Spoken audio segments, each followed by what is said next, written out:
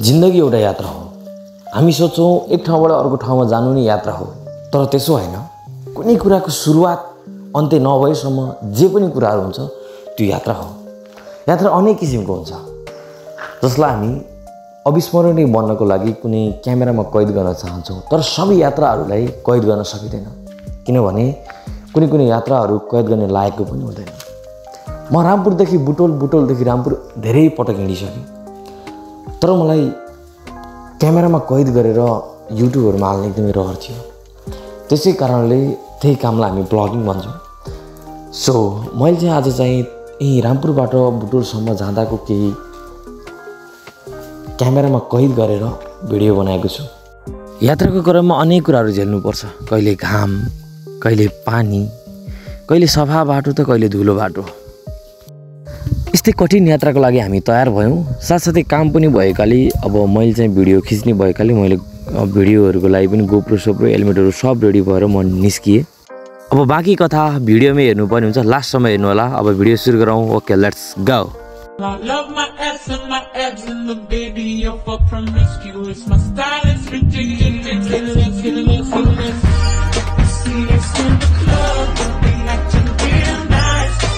us so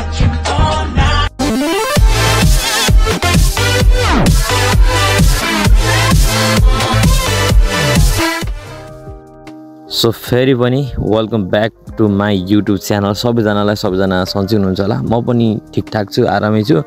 अनि म चाहिँ बिहानै पाँच बजी हिँडेको हुनाले चाहिँ भिडियो हल्का हल्का अँधेरै हुनाले चाहिँ म भिडियो खोलिनँ। पानी पनि पर्ला पर्ला जस्तो भइरहेको थियो। मैले चाहिँ सिधै भिडियो चाहिँ पिपल डाँडा मार खिचिरहेको अलिकति क्यामेराको एङ्गल अलिकति गप्टो भएको हुनाले चाहिँ बाटो नदेखिएर बाइक मात्र अलि देखिरहेको छ त्यसको लागि सरी भन्न चाहन्छु। अनि हामी चाहिँ अलिक चाँडै पुग्नु पर्ने छ काममा पनि पुग्नु भएको कारणले हाम्रो चाहिँ लगभग ढाई तिन घन्टामा बुटोल चाहिँ पुग्नुपर्छ है भन्ने हिसाबले चाहिँ हामी त्यही अनुसार हिँडिरहेको थियौँ। त्यस्तो गाडी धेरै ओभर स्पिड चाहिँ थिएन ठिकै थियो नर्मलै थियो। हामी आनन्दले दिदीभाइहरू होइन सानो बाल्यकालका कुराहरू भाँडेकुटीको कुराहरू लेख्दै रमाइलो रमाइलो गर्दै रमाइलो कुरा गर्दै जोक मजाक गर्दै गर्दै गर्दै गर्दै हामी हिँडिसकेका थियौँ। जस यतातिरको बाटो डाँडा काँडाहरूसँग रमाइलो गर्दै रमाइलो गर्दै अगाडि बढिरहेका थियौँ।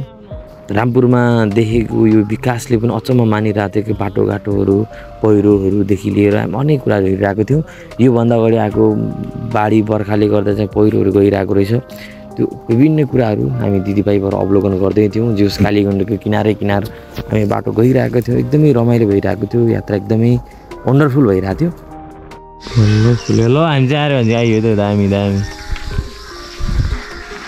ल करिब करिब हामी पचास मिनटमा आरे भान्जिङ पुग्यौँ। आरे भान्जिङ पछिको फेरि बाटो एकदमै घुम्टी घुम्टी एकदमै रमाइलो थियो। बाटो चाहिँ एकदमै रमाइलोको मजा लिइरहेको थियो होइन? आकाश पनि छ्याङ्ग हुँदै गइरहेको थियो। तलतिर माडी फाटको भ्यू हेर्दै हेर्दै हामी एकदमै रमा एकदमै इन्जोय लिइरहेको थियौँ। एकदमै भवा लागिरहेको थियो। जस घुम्टी घुम्टी टर्निङहरू होइन चेकिङ भए पनि टक्क भिडियोहरू बनाउनु हुन्थ्यो अनि भिडियो बनाएर होइन अनि कन्टेन्ट हुन्थ्यो। थम्नेलमा हाल्दा भ्युज पनि बढिजान्थ्यो कि जस्तो लागेर एकदमै एक्साइटेड भएर गइरहेको थियौँ रमाइलो आइरहेको थियो। कति बाइकहरूसँग रेस पनि पर्ने होइन जो पनि रेस खेल्न आउने होइन। अनि गोप्रोहरू देख्दाखेरि मान्छेहरूले पनि एकदमै खत्रै हेर्ने दृष्टिकोणै फरक हुने कि। यस्तो जोस बवाल बवाल भइरहेको थियो। एकदमै रमाइलो आइरहेको थियो। युट्युबमा केही करियर देख्नको लागि चाहिँ कि चाहिँ आफ्नो खत्रै ब्याक सपोर्टर हुनुपर्दो रहेछ जो युट्युबमा अलिकति नाम कमाइसकेको हुनुपर्दो रहेछ। कि चाहिँ एकदमै एडिटर एकदमै खतरा एकदमै लक लाग हुनुपर्छ नत्र भने हामी जस्तो यो बिगिनरहरू एकदमै केही पनि छैन न एडिटिङ छ न के छैन भिडियो बनाएर हाल्यो यस्तोहरूको लागि खास यो युट्युब होइन कि जस्तो पनि लाग्छ। किन भन्दा सब्सक्राइब बढ्न यति गाह्रो हुन्छ नि। दिनमा एउटा दुइटा पनि बढ्न गाह्रो हुन्छ। त्यो पनि अनि आज एक दिन एउटा सब्सक्राइब बढाएछ भने भोलि दुइटा सब्सक्राइब घटिदिन्छ कि त्यस्तो हुन्छ। तर अगाडि अगाडि पछाडि कोही ब्याक सपोर्ट गर्ने कोही होस् न एकदमै के खतरा युट्युबर हो भने ल मेरो भाइको युट्युब च्यानल सब्सक्राइब गरिदियो भन्ने भन्ने बित्तिकै त्यसको दिनमै बिस तिसकै सब्सक्राइब बढिदिन्छ भ्युज पनि त्यस्तै अनुसार जान्छ। हाम्रो त बिस तिस भ्युज जानु पनि गाह्रो हुन्छ त्यो पनि मान्छेले काटी काटी हेरेर हुन्छ भिडियो एचडीमा खिच्दा पनि अब अपलोड गर्दाखेरि अलिकति क्वालिटीहरू खराब हुन्छ खै किन हो कसो हो आई डोन्ट नो है। तर युट्युबमा भ्युज नजाँदाखेरि मान्छेलाई अलिकति गाह्रो अलिकति नआउँछ लाग्दो रहेछ। भन्दा भन्दै हामी चाहिँ बर्तुन आइपुग्यौँ हेरेर है हेरेर। मलाई उतै हिँड्नु बाटो छ एकदमै रमाइलो एकदमै रमाइलो भइरहेको थियो। कहीँ कहीँ त बाटो पनि यो बाटोमा बाइक नदौडाउँदासम्म मलाई मजै आउँदैन क्या समथिङ स्पिड टप स्पिड भनेको नाइन्टी टू बिहे थियो होला। एकदमै रमाइलो लाग्छ यो बाटो। एकदम सिधा स्ट्रेट छ छुट्टै भाइब्स आउँछ क्या बाइक दौडाउनु त मलाई। यो ट्रकलाई मैले करिब एक दुई किलोमिटरदेखि पिछा गरिरहेको छु मलाई भेटाउनै सकिरहेको छैन। तर छोडिदिउँ। अब हेर्नुहोस् यहाँ शीतल शीतल छ। अब तपाईँले जादु देख्नुहुन्छ। झ्याप्प। अब हेर्नुहोस् वान टू थ्री ऊ घाम। घाम देख्नुहुन्छ छुट्टै अर्कै संसार आए जस्तो हुन्छ मलाई यहाँनिर। एकदमै दुर्घटना दुर्घटनाग्रस्त क्षेत्र हो पहिरो पनि गइरहन्छ होइन? छुट्टै भाइब छ क्या त्यतातिर त्यो शीतल हुँदा हुँदै झ्याप्प घाम लाउँदा अचम्म लाग्छ कि ट्रकलाई उच्चुन मैले एकदमै प्रयास गरिरहेको छु तर सकिरहेको छैन पिचबाट भयो नि धुलो उड्ने भन्दा भन्दै म सक्सेस भएँ यास यास यास यास यस म सक्सेस भएँ तर ट्रकको ड्राइभर खत्रै रहेछ। चाहे बुटोल जाओस् या रामपुर आओस् तर मलाई केराबारीतिर चाहिँ यो बटुक नायकन चाहिँ मलाई गए जस्तो पनि हुँदैन। त्यही भएर यहाँ नास्ता खानको लागि बाइक साइक रोक्यो। त्यहाँ जाने बटुक पकौडा चुकौनी चना अन्डा के के हुन्छ मिलाएर खाने अनि हिँड्ने हो। म चाहिँ जहिले पनि हो डेली हो जति नै आतुरी भए पनि यहाँ नखाइ चाहिँ मलाई चाहिँ हिँडे जस्तै हुँदैन क्या नास्ता पनि खाइयो अनि दिदीको लागि पनि अनि अलिकति प्याक गरेर चाहिँ दिदीलाई पनि लैदियो। अनि सबैलाई आश हुन्छ कि बुटलतिर केराबारीतिर बाटो हिँड्दाखेरि बटुक पकौडातिर कहिले आश हुन्छ किनकि यो अलिक खास हुन्छ अरू भनेको खाइरहन पाइन्छ। यतातिर केराबारीतिरको ढुङ्गा यो के भन्छ यो डाँडालाई थाहा होइन तर यो डाँडा एकदमै बवाल लाग्छ मलाई डाँडाको बिचमा बाटो होइन तल एकदमै खोल्छ तल चाहिँ तिनाउ खोला हो कि अरे अनि माथि चाहिँ ठुलो डाँडा होइन यो बाटोको बिचमा एकदम बवाल लाग्छ क्या कर्नरिङ हान्न यस्तो बवाल लाग्छ। अनि एकचोटि एक्सिडेन्ट पनि भएको थियो अनि कर्नरिङ हान्दाखेरि त्यो त्यति बडी चाहिँ कर्नरिङ कर्नरिङ हान्दिनँ हल्का हल्का हो। हल्का हल्का हो त्यस्तो बडी चाहिँ हान्दिनँ मैले। बाटो पनि रमाइलो छ। यहाँ पनि अलि अस्ति पहिरो गएछ नत्र यस्तो थिएन यो बाटो।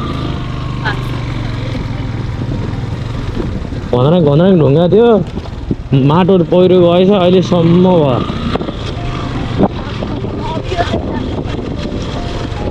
तर यो बस्ती किन बसिरह भन्ने कुरा हो क्या त्यो खोलाले कहिले बगाउँछ थाहा छैन। त्यो खोलाकै छेउमा किन गर्नु पर्यो होला? सुरुङको न्युज चाहिँ मैले यो युट्युब फेसबुकमा देखेको थिएँ। अहिले आफै हेर्न सक्नुहुन्छ हालत कस्तो छ?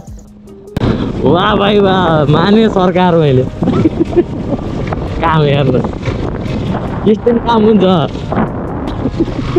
अब पहिरो हटाउनु त्यति नै दिन लाउँछ जति दिन सुरुङ खन्न लायो। त्यो मान्छेको त्यो के गन्न पनि नमिलेको क्या। मान्छे खोलाभरि त्यो झर्ना कति टाइम हुन्छ त्यो।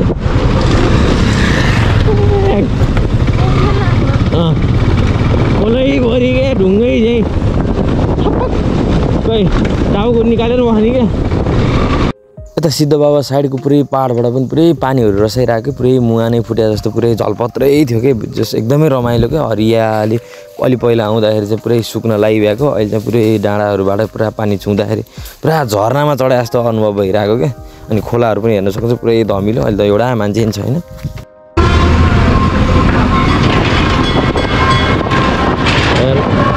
आज शनिबार आम्मा भिड। हामी त ढोकाउनु पर्छ हामी त बिहान बिहान आइयो।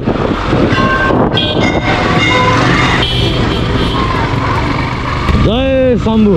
कहाँ कहाँदेखि पूजा गर्न आछन् यो बाइक पार्किङ गर्ने ठाउँ पनि नभएर क्या कति मान्छेहरू उतै गाडी रोकेर हिँडेर आइरहेको छ त्यस्तो देख्न सकिन्छ यहाँनिर। जस आज शनिबार शिवजीको पूजा होइन। आफू त यस्तै हो। जय जय शम्भु गाजा कम्बो। कुरा गर्दा गर्दै हामी बुटोल पनि कटिसकेर तिलोत्तामा लागिसक्यो तिलोत्तामा लाउने बित्तिकै बाटोको छुट्टै आनन्द ओहो स्वर्गको अनुभव हुन्छ। गर्मी मात्रै हो नत्र भने बाटो त आहा चिल छ चिल तर अलिकति यहाँको अलिकति नराम्रो ब्याड पोइन्ट भनेको चाहिँ अलिकति चौपायाहरू छाडा छोडिदिँदाखेरि होइन गाईबस्तुहरू पुरै बाटोबाटोमा हिँडिरहेको हुन्छ कति एक्सिडेन्ट हुन्छ। यो कुराहरू कसले ख्याल गर्ने हो खै? सम्बन्धित निकायमा पुगोस् भन्न चाहन्छु। कुनै दिन जाँदाखेरि बुटोलमा चाहिँ गाईबस्तुहरू नदेखेको सब आफ्नो ठाउँमा सुरक्षित छन् रे भनेर सुन्दा पनि खुसी लाग्छ नि त। त्यो भएन कि गाईको यस्तो छाडा छ बिचरा। के खायो होला? दिदी घर कान्छी बजार हुनाले चाहिँ म कान्छी बजार जानु पऱ्यो। मङ्गलापुरबाट चाहिँ कान्छी कान्छी बजार जानको लागि सेमरा हुँदै जानको लागि हामी चाहिँ निस्केको तर बाटो चाहिँ पिच गर्नको लागि बनाएर चाहिँ बाटो दुःख दुःख। खतरा घतरा गुन्द्रुङ गर्दा गर्दै हामी चाहिँ कान्छी बजारको बाटो तय गर्दै थियौँ। करिब मङ्गलापुरदेखि दस किलोमिटर जति छ। अब पुग्न पुग्न लागिसक्यो। अब हामी पाँच मिनटमा पुग्छौँ। फाइनल्ली।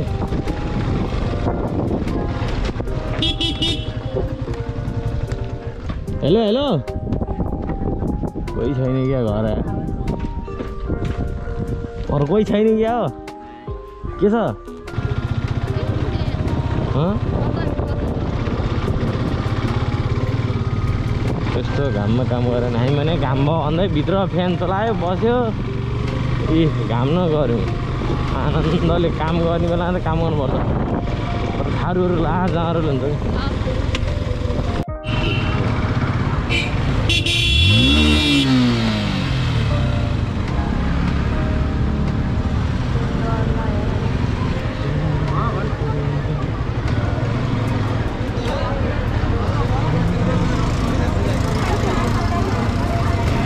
त्यहीँ हल्ला त्यहीँ भिडमा छोडिदिएर म चाहिँ फेरि अर्को दिदी घर जानु लाग्यो जुन दिदी घर नयाँ गाउँ थियो। नयाँ गाउँ जानु पऱ्यो भने हिँडेँ म चाहिँ नयाँ गाउँको तय गर्नको लागि। यता दाहिनेबाट गयो भने रामपुर जान्छ यता सिधा गयो हाट बजार लाइन जाइन्छ। अनि यताबाट चाहिँ देब्रे घुम्यो भने चाहिँ नेपालगञ्ज अरखाँची अनि नयाँ गाउँ बेलवास जता पनि जान सकिन्छ। यसलाई चाहिँ त्यही फलो नेपालगञ्ज रोड पनि भन्छ। नेपालगञ्ज जानको लागि यो रोड जाने हो। यता फुलबारीतिर पनि जान मिल्छ। कोही कोही नचिनेकोलाई चाहिँ यो जानकारी होस्। म फर्स्ट टाइम भएको हुनाले दिदी मलाई लिन आउनु भएको थियो।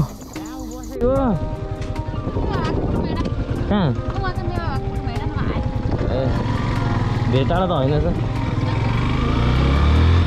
अनि साथीहरू बेलबासतिर चाहिँ यसो फोन गरेको म चाहिँ झलुङ्गेतिर छु भने अनि झलुङ्गेतिर म भेट्न भनेर केटाहरूलाई निस्केँ केटाहरू के छ?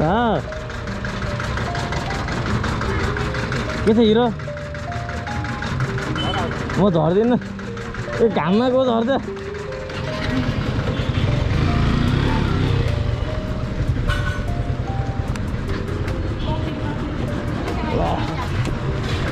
के छ खबर? आरामै। कता हिँडेको? अनि दिदी काम सकेपछि किन बस्नु होइन? अब निस्किहाल्नु पर्ने हुन्छ। सो भिडियो चाहिँ हेरिराखौँ ल। अनि बाटोमा चेकिङ भयो भने हुन्थ्यो नि भनेर हिँडिरहेको छु म। चेकिङै भएको छैन क्या चेकिङ भएछ कन्टेन्ट हुन्छ ट्राफिक आयो भने भ्युज पनि जान्थ्यो कि भनेर हो होइन? अनि बाइकमा बिल्लुक कर फेल भएको बेलामा बिल्लुक नभएको बेलामा चाहिँ चेकिङ हुन्छ अनि ल्याएको बेलामा चेकिङै पर्दैन यार। मजै आउँदैन नि यार। सो त्यही हो गाइज भिडियो चाहिँ हेरिराखौँ ल। गोप्रोमा खै चार्ज पनि कच्चा कुनै भिडियो नअन हानिरहेको छु मैले यार। गोप्रोले पनि दिइरहेको छु भिडियोको कस्तो एङ्गलहरू कस्तो भइरहेको पनि थाहा छैन यार। कहिले तल कहिले माथि भएको। हो त्यही भयो कुरो चाहिँ। पर्यो सर र छाना गज्रो गर र। ल साथीहरू बुटलमा झन् पानी परिदियो। गर्ने चाहिँ के हो यहाँ? ल रेङ्गोट उडाएर गइहालौँ क्या अब किन र त्यो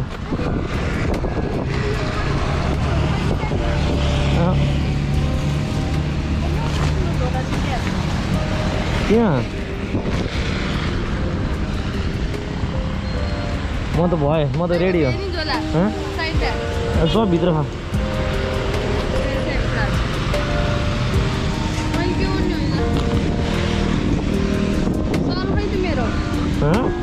कुन चाहिँ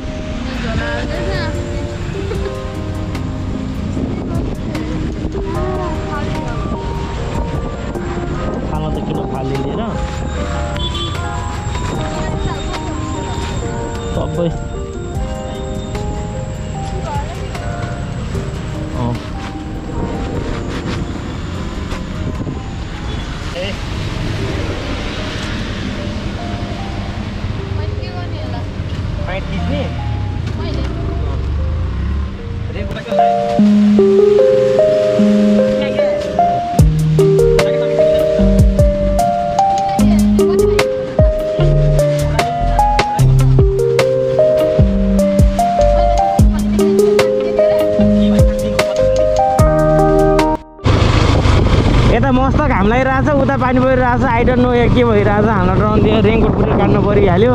के भन्नु केही भन्नु छ त कान्छु? अब हामी चाहिँ फर्किसक्दाखेरि चाहिँ यो एनएस राइडरसँग हाम्रो हल्का ड्र्याग रेस परिरहेको थियो हाम्रो एकदम फ्रेन्डली रेस परिरहेको थियो। कहिले मैले जित्ने कहिले उसले जित्ने गरिरहेको थियो। उसले अलिकति घुम्टीहरूमा पनि टर्निङहरूमा पनि अलिकति अर्काको लेन मिचिरहेको थियो। उसको अलिकति रफ ड्राइभिङ देख्दाखेरि मलाई डर लागिरहेको थियो। हामी दिदीभाइको कुरा भइरहेको थियो कि उसले कहीँ गएर ठोक्ला जस्तो छ भनिरहेको थियो। तर कुरा त्यस्तै हुँदा उसले एकदमै लेनहरू एकदमै मिचेर गइरहेको थियो कि टर्निङहरूमा पनि ओभरटेक गर्न खोज्ने एकदमै जित्न मात्रै खोजिरहेको थियो। म एकदमै फ्रेन्डली म चाहिँ एकदमै आफ्नो कन्ट्रोलमा चलाइरहेको थिएँ। चलाउँदा चलाउँदै उसको चाहिँ अचानक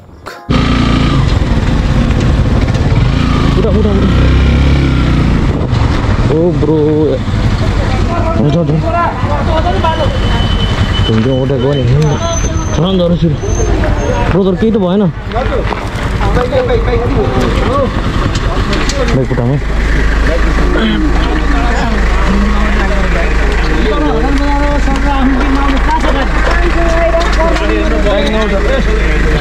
के भयो पैसा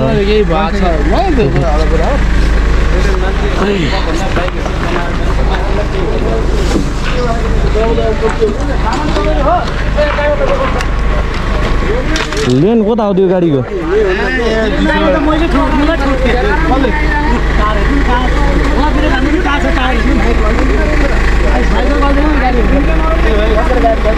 भाइले के जे भन्छ त्यो बाइक त बाइक त भाइले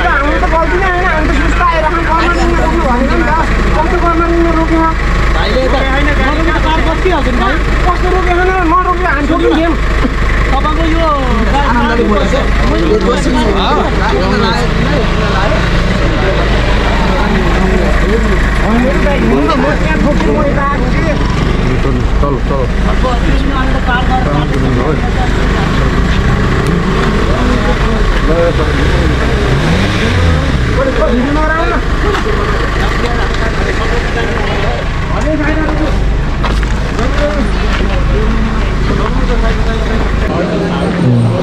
बाइकको गयो त्यस्तो केही छोड्दैन त नभएको कारको नि बम्परको पनि यस भयो।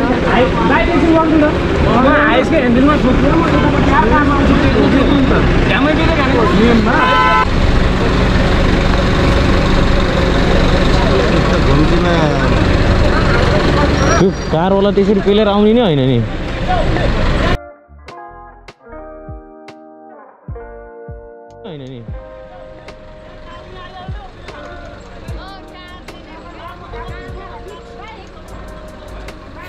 यो घटनाको विवरण विस्तृत रूपमा भन्नुपर्दा म हल्का अगाडि थिएँ एनएस राइडरभन्दा अगाडि।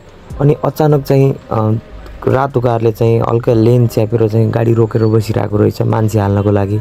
अनि हाइस पनि अगाडिबाट आइरहेको थियो।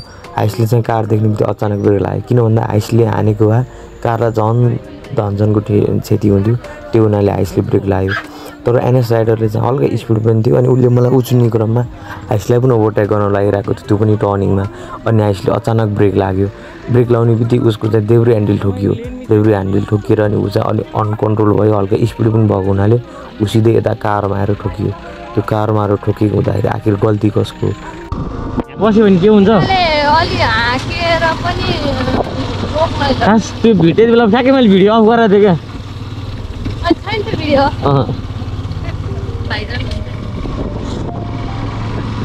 मेन भनेको एनएसको गल्ती छ। होइन? त्यसले त्यो एयर बाइक दौडाउने होइन त्यसले खास ओभरटेक गर्न लाग्यो। बाइक त ऊ ठोकिया होइन क्या ट्याक्क यस्तो ओभरटेक गर्दाखेरि ह्यान्डल ठोकियो होइन? अनि कारमा गएर उछुट्या हो। अनि बाइक स्लो हुँदा बाइक स्लो हुन्थ्यो भने त त्यो कारमा ठोकिँदै ठोकिँदैन नि। त्यो त त्यहीँ ठोकेर बस्यो नि त। हामी यता हामी चाहिँ उताबाट गाडी आयो भने हामी यता यतातिर चाप्यौँ होइन? साह्रै देख्दैन अनि घुम्तीमा ओभरटेक गर्न।